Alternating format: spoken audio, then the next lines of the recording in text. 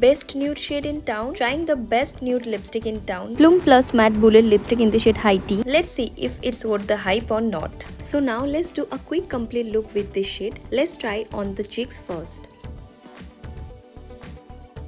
Now let's apply it on my eyelids. Okay, now it's time for lips. Wow, this beautiful shade is so versatile. It's completely on my top list now and is the best nude shade in town, High Tea. And of course, it's worth the hype. Highly, highly recommend this to you guys. I am sure you will gonna love this shade.